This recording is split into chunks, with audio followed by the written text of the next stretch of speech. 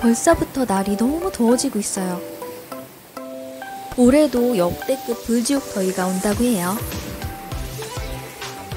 열대야의 잠 못 드는 밤. 지긋지긋한 더위는 이제 그만. 서울 근교 더위를 무너뜨릴 끝장나는 여름 피서지 세 군데. 지금 시작합니다.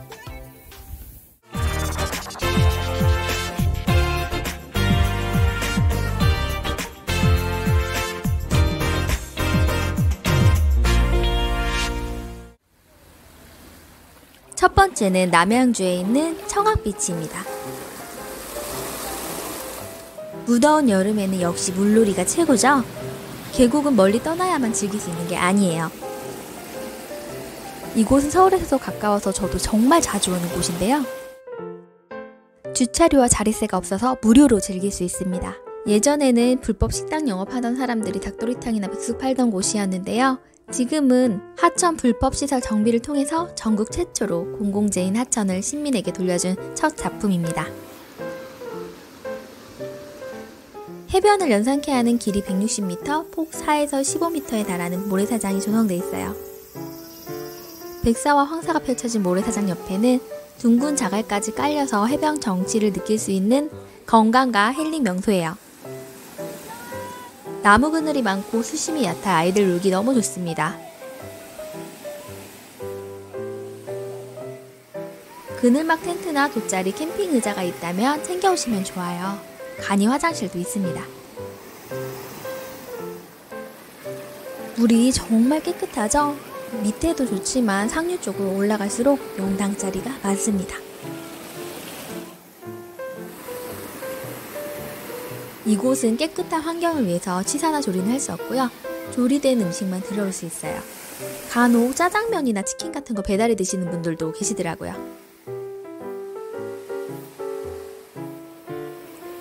이곳은 저희가 찾은 명당 자리입니다.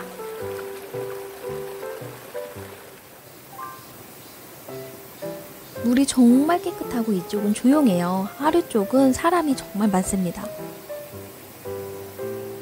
성인 허리 정도 오는 물 깊이도 딱 좋더라고요.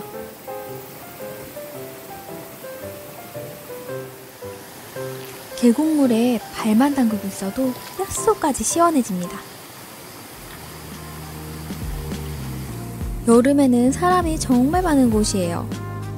좋은 자리 맡고 싶으시면 아침 일찍 가시는 걸 추천드립니다. 저는 올여름도 청학비치에 자주 가 있을 것 같네요.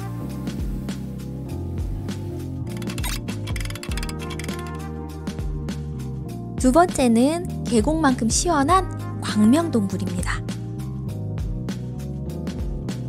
광명동굴은 수도권 최대 국내 최초 동굴 테마파크입니다. 폐광의 기적을 만들다. 동굴에 들어가자마자 시원하다 못해 추울 정도예요. 바람막이 꼭 챙겨가세요. 광명동굴은 산업유산으로서의 가치와 문화적 가치가 결합된 대한민국 최고의 동굴 테마파크라는 평가를 받고 있어요. 연간 100만 명 이상의 관광객이 찾는 세계가 놀란 폐광의 기적을 이루었습니다. 동굴이라는 공간적 차별성과 희귀성을 문화예술 콘텐츠와 결합해서 새로운 창조 문화를 만들어가고 있어요. 동굴 곳곳은 수많은 예술가와의 협업을 통한 작품을 관람할 수 있으며 와인 동굴로 변신. 폐광을 복합 문화예술 공간으로 재생시킴으로써 국내를 넘어 세계가 주목하는 문화 창조 공간으로 주목받고 있습니다.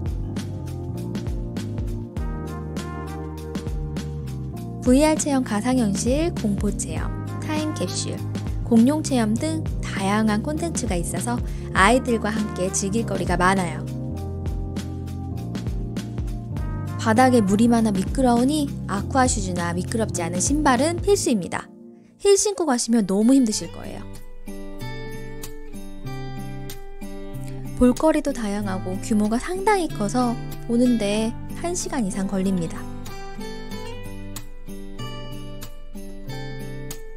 아이들이 흥미로워할 만한 볼거리가 정말 많아요.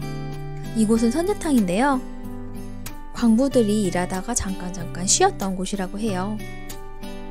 쉬면서 낙서한 것도 많이 눈에 띄네요. 이건 돈 많이라는 글자인데요. 실제 광부가 쓴 낙서입니다. 왠지 좀 가슴 한 켠이 짠해지기도 하네요. 아이들이 이렇게 광부 체험도 할 수 있어요. 이렇게 깊은 곳에 이런 물이 있다니 정말 신기하죠? 신비하면서도 한편으론 좀 으스스 무섭기도 합니다. 저는 이런 동굴 테마파크에 처음 와봤는데요. 생각보다 볼거리도 정말 다양하고 흥미로운 시간이었어요. 이렇게 와인 시음하는 것도 있네요. 저는 거봉 와인이 참 맛있어서 한 병 사왔어요.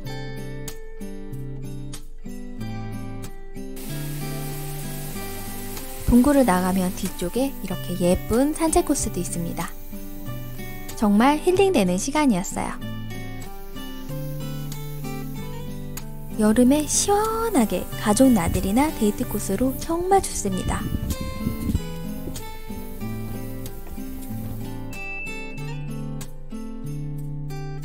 세 번째는 서울, 경기도에서 30분이면 만나는 곳, 세계적으로 드문 도심 속의 자연 공간. 경기도에 있는 송추 계곡입니다. 송추 계곡은 소나무와 가래나무가 많은 계곡이라 해서 붙여진 이름인데요. 계곡 양옆으로 울창한 숲과 기안계석을 돌아 흐르는 삼단폭포 등 시원하고 맑은 계곡물이 조화를 이루며 수려한 장관을 자랑하는 곳입니다. 이곳은 취사나 흡연은 안 되고요. 인화물질 반입 금지, 산악자전거 출입 금지, 외환동물, 쓰레기 투기 등 과태료가 부과됩니다. 텐트, 파라솔, 그늘막도 금지예요. 돗자리는 가능합니다. 계곡을 따라 올라가면 등산로와 연결되는데요. 사패산과 5번 코스가 있는데 왕복 3시간 소요됩니다.